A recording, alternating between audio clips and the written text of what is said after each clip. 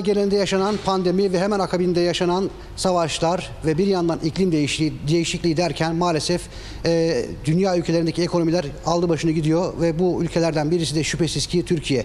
Tam bu anlamda özellikle otomotiv sektörü de çok ciddi anlamda e, bir sekteye uğramıştı ki şu anda etkileri devam ediyor. Peki piyasada son durum ne? İkinci el piyasasını konuşacağız. Yayınımıza bir konumuz var. E, efendim galericimiz e, Engin Muti. Öncelikle yayınımıza hoş geldiniz. Efendim siz de hoş geldiniz. Ee, teşekkür ederiz.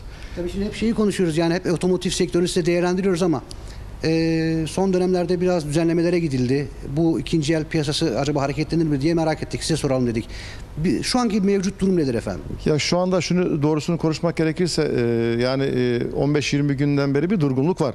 Ama bu tabii ki e, bu şey değil yani fiyatlarda böyle çok düşecek ani bir düşüşler falan olacak beklentisi vatandaşlar olmasın o konu içinde olmasınlar yani. Düşüş olur yine gibisinden olmaz yani. Şöyle söyleyeyim biraz durgun gidiyor. Bu tabii ki bu durgun gitmesinin de bu kredi oranlarının biraz yüksek olmasından dolayı durgun gidiyor. Yani vatandaş e, alım gücü biraz oluyor ama biraz da kredi kullanmak istiyor ama kredi faizleri yüksek olduğundan dolayı ikinci eli alamıyor yani. Ama şu anda çok yani avam şam işleri iyi değil ama kötü de değil. Tabii yaz dönemindeyiz. Özellikle yaz başında ve bayram öncesinde mesela bir hareketlik oldu galiba. E, hem e, kiralamada olsun hem alım satımda olsun ya da size soralım yani aşağısı böyle bir hareketlik oldu mu? Bayram öncesi çok güzeldi işlerimiz. Tabii her zaman böyle e, bayramdan önce yani bayramdan önce hakikaten işler güzeldi. Ama bayramdan sonra tabii ki her zaman bu bilindik bilindik bir şeydir yani düşüş olur işlerde. Çünkü vatandaş işte tatile gidiyor, işte tatilden geliyor. Yani hem araç satışında hem de araç kiralama alanında çok şey oldu yani e, artış oldu bayramdan önce yani. Tabii de e, biliyorsunuz bir tedarik sıkıntısı var. E, Şu anda sıfır otomobillerde durum nedir? Geliyor mu şu an e, peyderpey geliyor mu? Bu e, cip krizi halen devam ediyor. E, zaten yani e, vatandaşlar hani bu cip krizi devam ettiği müddetçe yani buradan bek, çok beklenti olmasın yani ki bu araç fiyatları düşer diye. Yani halen devam ediyor. Ya- Yani yaklaşık iki sene daha bu devam edecek. Yani ama e, yani çok beklentisi olmasın. Yani bir arabalar atıyorum e, 1 milyarlık araba işte 700'e düşer, 800'e düşer.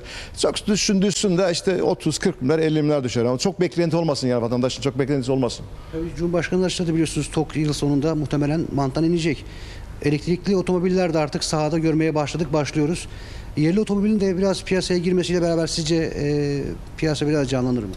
E, tabii ki yani onun e, tabii e, normal şu anki piyasadamızdaki araçlar gibi fiyatlar olmayacak. Düşük olacak token fiyatı. Düşük olduğu için de piyasada e, tutulacak yani. Zaten yani insanlar hep onu bekliyor. Yani ki hani ona yazılalım, ondan alalım hani Türk arabasıdır diye. Ama e, tabii ki o çıktığı zaman piyasada biraz kırgınlık yapar yani. Milletimiz ona döner.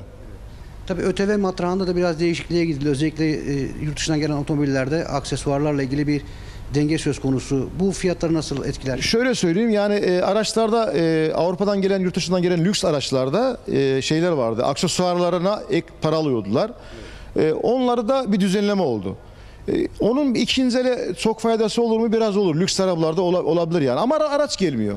Yani araç gelmediği için e, yani bunun bir çok bir katkısı beklenmez yani.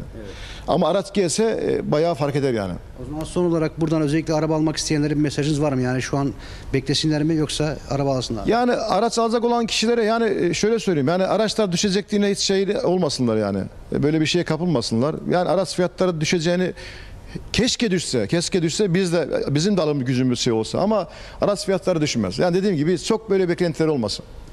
Efendim çok teşekkür ederiz. Ben teşekkür ederim. Evet, otomobil e, piyasasını değerlendirdik. Özellikle ÖTV matrağında yapılan düzenlemeler ve ikinci el otomobil piyasasına etkilerini konuştuk.